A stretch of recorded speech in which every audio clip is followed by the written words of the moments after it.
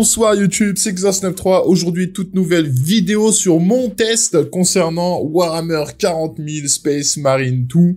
Et je vais tout vous dire dans cette vidéo. Bien sûr, je vous invite à vous abonner, activer la cloche de notification, à me dire ce que vous en pensez en commentaire et pour plus de guides et d'astuces et de solutions qui vont arriver très prochainement. Commençons par le Discord officiel. Je vous invite à le rejoindre. Il est sur la section de la description de la vidéo. Et si vous voulez acheter le jeu moins cher, lien d'affiliation Instant Gaming qui vous permettra d'accéder à certains giveaways directement. En plus, il y a un concours en ce moment avec un PC de 3000 euros à gagner. Il faut juste rejoindre le Discord Instant Gaming. Une fois que vous l'aurez rejoint, vous allez dans la section participer, vous cliquez et hop, vous pourrez participer. Alors quand vous allez arriver sur Instant Gaming, je vous avais le lien dans la description tout en bas et vous pourrez déjà précommander donc le jeu Space Marine 2. Donc n'hésitez pas à l'utiliser, vous le paierez beaucoup moins cher, donc moins 23%, 46, 19, ça vaut vraiment le coup. Donc ne passez pas à côté. Maintenant que ça c'est fait, on passe dans le vif du sujet et parlons de Warhammer 40 000 Space Marine 2 parce qu'on a plein de choses à dire.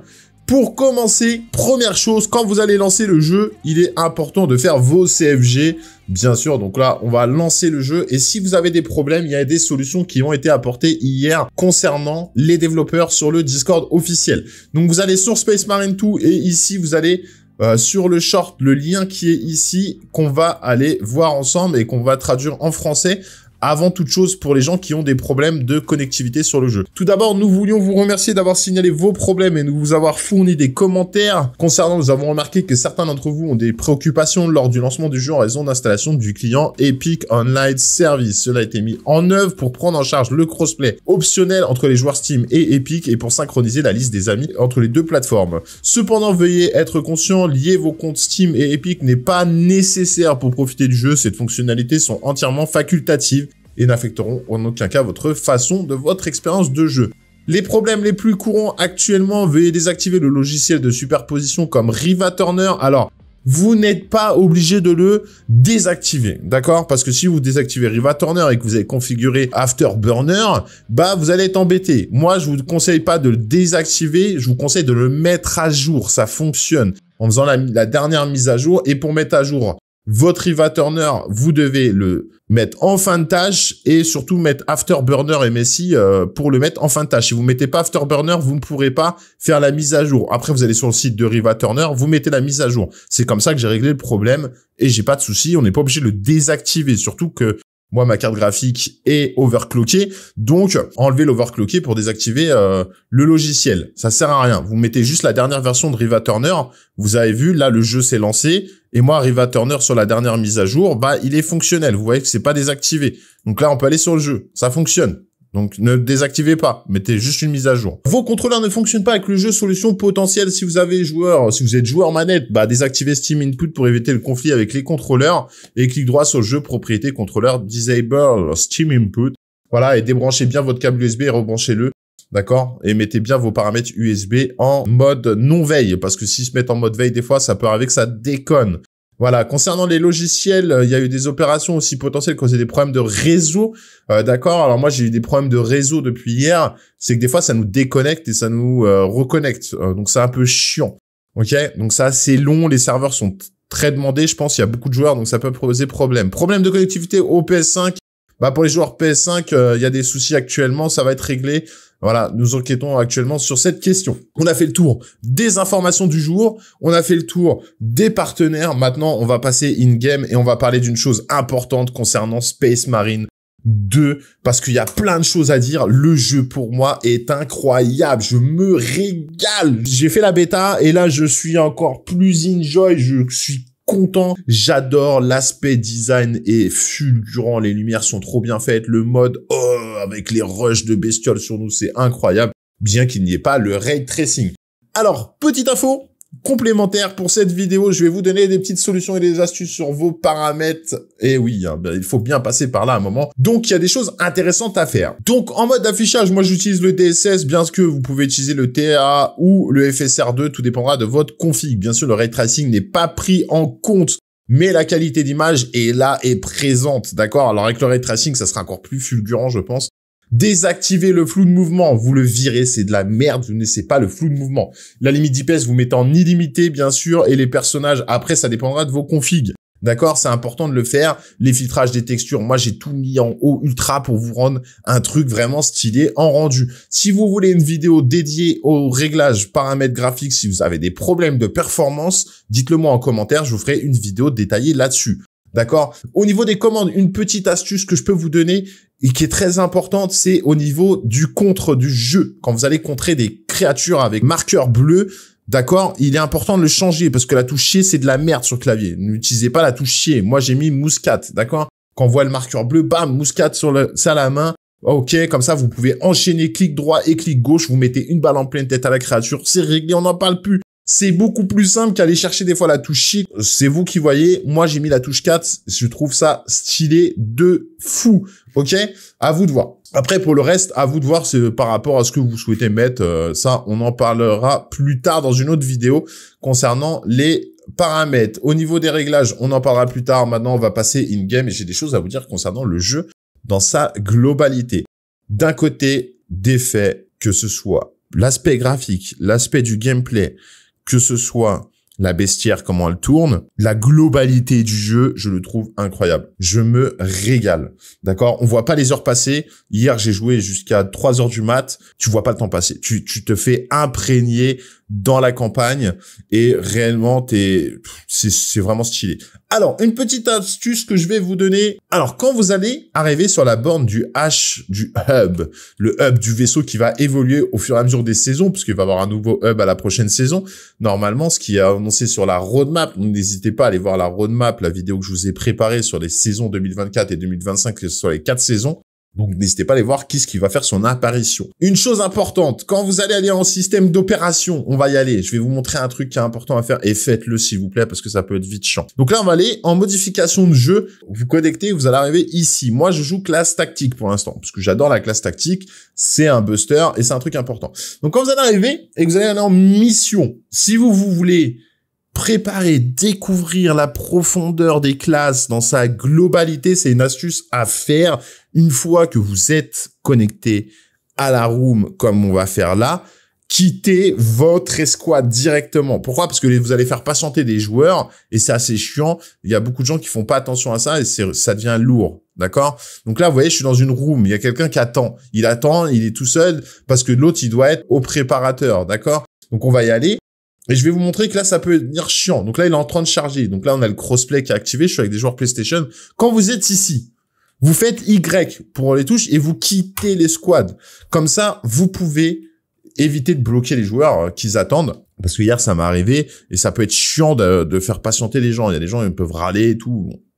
Surtout quand ils ont préparé tout leur stuff. Ne perdez pas de temps. Vous voulez découvrir les, toutes les classes tranquillement posées, regarder les compétences, prendre le temps de voir les maîtrises. C'est une astuce à faire. Vous quittez direct les squads, vous serez renvoyé dans une room solo, voilà, et vous pourrez découvrir tout l'aspect des classes dans sa globalité qu'on va aller voir et je vais vous donner mon point de vue sur les classes. Il y a une classe que moi je joue actuellement, c'est Tactical. C'est la classe la plus polyvalente à mon goût pour l'instant pour le starter. Donc si vous êtes joueur débutant partez sur la classe tactique ou partez sur une autre classe et découvrez toutes les classes. Hein. Je vous dirai pas la classe tactique est mieux qu'une autre. Trouvez votre plaisir de jeu. Ne vous arrêtez pas à dire OK, alors il joue ça, c'est mieux que les autres. Non. D'accord? Toutes les classes sont intéressantes à jouer. Le jeu est fait pour jouer sur toutes les classes. Bien sûr, une fois que vous avez trouvé votre plaisir de jeu, si vous êtes en coop euh, avec des potes, sélectionnez bien une classe différente. Parce que si vous prenez tous les trois la même classe, c'est pas possible. S'il y en a deux qui prennent la même classe, c'est pas possible. Il va falloir avoir une classe de chaque type différente pour la coop. Donc c'est important de le définir. Faites bien, préparez-vous à ça. Ensuite, quels sont, pourquoi je joue la classe tactique? Alors pourquoi je joue la classe tactique? Parce qu'elle est polyvalente et on a une multitude d'armes. Bien que moi, mon arme de prédilection que j'adore actuellement et que je vais monter en maîtrise, c'est la dotation standard, le fusil fuseur. J'aime cette arme, c'est mon point de vue, c'est une arme thermique à courte portée, sachant que je joue en classe tactique, je pourrais jouer avec une arme mid-range, long-range, mais j'aime bien cette arme parce qu'on a souvent, il y a énormément de vagues, et c'est une classe que moi j'apprécie parce que ça va permettre de donner une impact à votre team pour augmenter les dégâts sur les ennemis, d'accord? Et en plus de ça, a des aptitudes et des compétences que vous allez débloquer au fur et à mesure du temps qui sont très intéressantes. On va pas rentrer en profondeur dans la classe.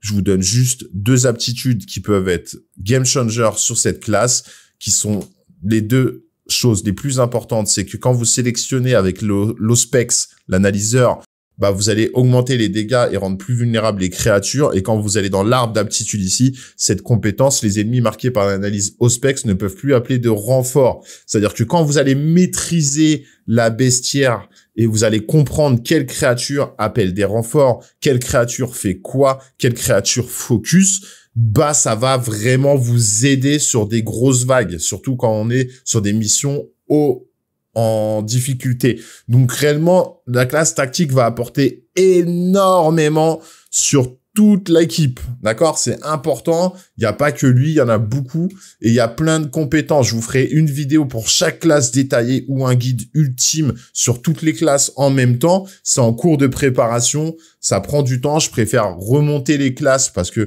depuis la bêta, on a eu le reset, hein, bien sûr, on n'a pas gardé nos, nos points d'aptitude, mais je voulais en parler et voir quels sont les changements qui ont été apportés depuis la bêta. Il n'y a pas eu de grands changements, ok? Donc, réellement, trouvez votre classe vous-même. Dites-vous bien, je veux jouer ça. Pourquoi? Parce que ça apporte ça. Ok, alors il y a des classes assaut qui est très bien. Comme vous pouvez voir, la classe assaut, bah vous avez pas d'arme principale, vous avez une, une, arme standard que vous pouvez sélectionner comme ça. Et là, vous allez jouer beaucoup sur le hammer, le marteau thunder est puissant de fou. Régalez-vous, testez, vous limitez pas. Ok, une fois que vous avez trouvé votre plaisir de jeu, Là, vous pouvez définir ce que vous voulez faire. Alors, attention, il y a des classes qui vont être amenées avec des compétences d'aptitude à utiliser certaines armes de préférence pour augmenter aussi les dégâts sur les armes que vous allez utiliser. Donc, faites bien attention aux compétences, aux aptitudes. Par exemple, sur la classe tactique, on peut augmenter les dégâts de plasma avec une arme. Testez, regardez, lisez, prenez le temps. De toute façon, vous aurez des guides détaillés sur chaque classe. Et euh, je vous prépare ça et ça arrivera courant de semaine prochaine. Euh, comme ça, vous aurez toutes les informations pour chaque classe dès qu'elles seront bien montées. Comme ça, je pourrais bien vous faire dire, OK, prends ça, prends ça, c'est cool, ça peut être plus cool, mais faites votre, votre, propre style de jeu. Voilà concernant ceci. Maintenant, parlons de l'aspect graphique. Le jeu est incroyable. Les lumières sont incroyables. Les profondeurs sont incroyables. Sincèrement, je me régale quand on voit les reflets. Il n'y a même pas de ray tracing. Bon, là, l'éclat numérique est un peu plus augmenté concernant mon Nvidia. Pourquoi? Parce que j'aime bien avoir une belle luminosité et des bons retours d'éclat numérique sur les équipements. Et on peut voir réellement que c'est le design sont juste incroyablement magnifique. Le lore de l'histoire, je kiffe. On est très, on est dans une immersion complète quand on est dans la campagne. Le seul problème qui peut se poser réellement, ça sera sur le endgame. Pourquoi je dis ça? Parce que une fois qu'on aura terminé la campagne, qui peut près, ça dépendra votre, votre temps de jeu, mais ça peut durer entre 7, 8, jusqu'à 12 heures, ça dépendra vraiment votre temps de jeu, comment vous allez, euh, ce que vous allez fouiller partout, surtout fouiller partout, il y a plein de choses à découvrir. Vous allez trouver des, des appareils qui vont vous raconter l'ordre de l'histoire dans de la campagne. Fouillez bien les petits coins, vous allez voir, il y a des choses intéressantes à découvrir. Et en plus de ça, tout est animé. L'interaction avec les autres personnages est incroyable. Les cinématiques sont incroyables. Le design, les profondeurs et allez, c'est vraiment bien, très beau à voir et c'est très immersif. D'accord? À mon goût. Alors, il y a une chose que je peux reprocher, et euh, ça je vais en parler, c'est juste la bestiaire.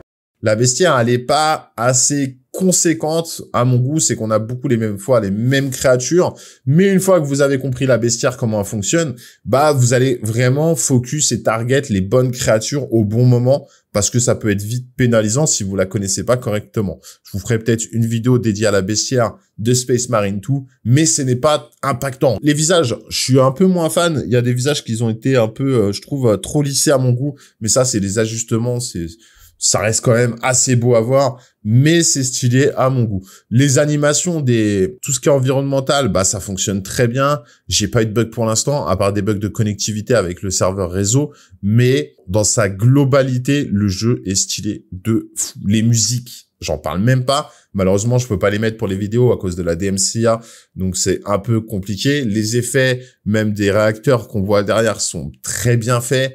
Tout est animé on a l'impression d'être dedans, en fait. Voilà concernant un peu mon retour et comme je disais, une chose importante, c'est qu'à la fin, bah, on peut vite avoir un système un peu redondant, mais comme tous les jeux, comme tous les jeux, je dirais, parce que c'est une chose importante de se dire, bah, c'est un jeu de farm. Avant toute chose, on a une campagne, et ça, c'est incroyable, la campagne solo est juste mm, stylée de fou, mais l'émission est montée, vos personnage au max de compétences et d'aptitudes va vous demander beaucoup de farm, d'accord? Donc il va falloir refaire la même chose, refaire la même chose, refaire la même chose. Comme beaucoup de jeux aujourd'hui, comme euh, on peut prendre tous les jeux, c'est la même chose. Arrivé à un moment, on va rentrer dans une routine de jeu sur le endgame. Je vous donne mon point de vue parce que j'ai par rapport à ça. Ça peut être usant et fatigant pour certains qui disent j'ai fait la campagne solo, ok, terminé, je passe à autre chose. Dites-vous bien que le jeu vaut vraiment le coup à l'achat, surtout pour vous régaler et surtout faites si vous faites le Space Marine 2, essayez de faire Space Marine 1. Vous allez voir la continuité, le de l'histoire est très prenant. Pour les fans de Warhammer 40 000, on n'est pas sur euh, du de la figurine là, on est vraiment sur un jeu qui vraiment vaut la chandelle. Donc moi je vous dis, je vous donne mon avis. Si vous voulez mes conseils, prenez-le, faites votre idée et prenez du plaisir à jouer. Voilà, je pense que j'ai tout dit. Si j'ai oublié des choses, dans tous les cas, il y a beaucoup de choses qui vont arriver.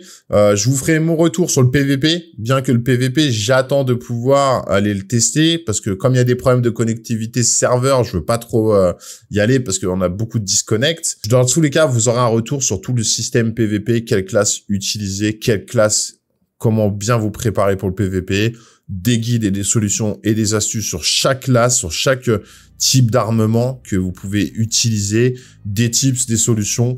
Vous aurez une multitude de guides et de solutions sur la chaîne YouTube dans les prochains jours, voire les prochaines semaines, jusqu'à la fin du mois de septembre, parce qu'à la fin du mois de septembre, bah, on a le DLC de Shattered Space de Starfield qui fait son apparition.